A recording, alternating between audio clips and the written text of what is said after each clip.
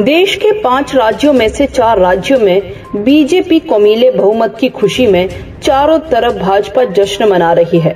सिरमौर जिला मुख्यालय नाहन में आज भाजपा कार्यकर्ताओं ने भाजपा जिला अध्यक्ष विनय गुप्ता की अगुवाई में मिठाइयाँ बांटकर पार्टी की जीत का जश्न मनाया। कार्यकर्ताओं ने शहर के गुन्नू घाट में पटाखे फोड़कर व मिठाइयाँ बांटकर अपनी खुशी ज़ाहिर की। मीडिया से बात करते हुए भाजपा जिला अध्यक्ष विनय गुप्ता ने कहा कि चार राज्यों में मिशन रिपीट कर भाजपा ने एक नया रिकॉर्ड कायम किया है। वहीं देश में 60 साल तक राज करने वाली कांग्रेस को करारी शिकस्त का सामना करना पड़ा है। उन्होंने कहा कि जहाँ चारों राज्यों में पार्टी ने भारी बहुमत के साथ जीत दर्ज की है, वहीं उत्तर प्रदेश और उत्तराखंड में सरकार रिपीट कर एक इतिहास बनाया है। क्योंकि यहाँ अक्सर अलग अलग पार्टी की सरकार बनती थी। उन्होंने कहा कि चार राज्यों में जीत का श्रेय प्रधानमंत्री नरेंद्र मोदी और सरकार की कल्याणकारी नीतियों और कार्यक्रमों को जाता है, जिसका सीधा लाभ जनता ने उठाया और आज पार्टी को समर्थन देकर सरकार पर अपना विश्वास जताया है। जिन पाँच राज्यों के चुनाव,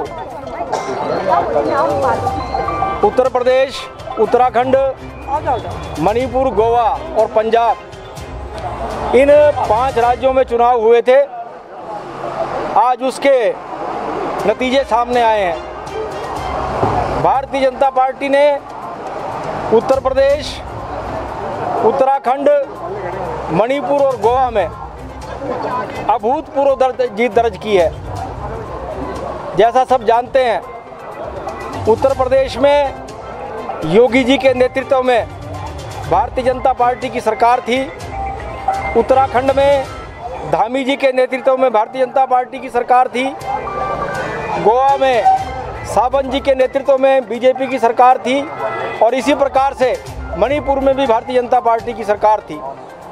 इन चारों राज्यों में भारतीय जनता पार्टी ने अभूतपूर्व जीत दर्ज की है और इस जीत का सारा श्रेय माननीय नरेंद्र भाई मोदी जी को, आदित्यनाथ योगी जी को जाता है और भारतीय जनता पार्टी की विकास की जो नीतियाँ हैं, आम जन तक जो विकास की नीतियाँ भारतीय जनता पार्टी ने पहुंचाई हैं, उसका श्रेय सारा का सारा योगी, मोदी और इन नीतियों को जाता है। आज भारतीय जनता पार्टी ने उत्तर प्रदेश में जहाँ ये कह, कहा जा रहा था वर्षों से उत्तराखंड और उत्तर प्रदेश में सरकारें रिपीट नहीं कर रही थी। इन दोनों राज्यों में बहुत बड़ी जीत भारतीय जनता पार्टी ने दर्ज की है। मैं एक बात की तरफ़ आप सभी का ध्यान आकर्षित करना चाहता हूँ। इन पाँच राज्यों में 690 सीटों पर चुनाव होने जा रहे हुए थे।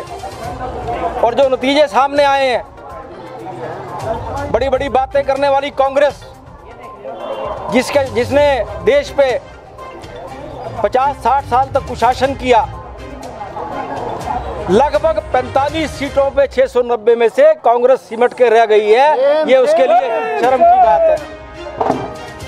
बड़े बड़े दावे करते थे। आज इन पाँचों पाँचों में से चार राज्यों की जनता ने मोदी जी की नीतियों पे, भारतीय जनता पार्टी की नीतियों पे अपनी मोहर लगाई है। मैं पूरे देशवासियों को, उत्तर प्रदेश के वासियों को, उत्तराखंड के वासियों को और हिमाचल प्रदेश के वासियों को पूरी की पूरी तरह से हम पूरे हृदय की गहराइयों से बधाई देते हैं।